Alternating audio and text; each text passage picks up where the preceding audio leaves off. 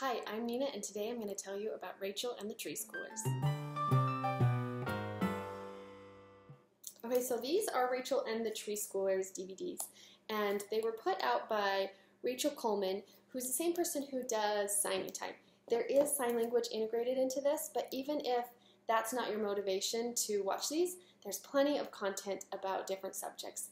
And um, they were marketed for preschoolers, but I think they're really good content wise for elementary and maybe even um, supplementally for junior high. Um, I actually teach at a part time private school where we did a term where we learned all about space, anything space.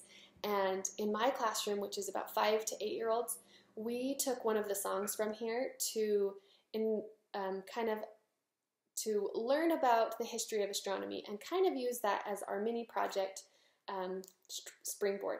My kids loved this song. I collaborated with an older class that's probably 9 to 11 ish, and they really seemed to like this song too. I did even have um, a couple of them send me a dance that they did to the song, and I had um, parents email me and say, My kids are singing this amazing song. Where do you find this song? They were totally thrilled that their kids were enjoying singing about astronomy. And and this song, it, looking keep looking to the stars, is just magical.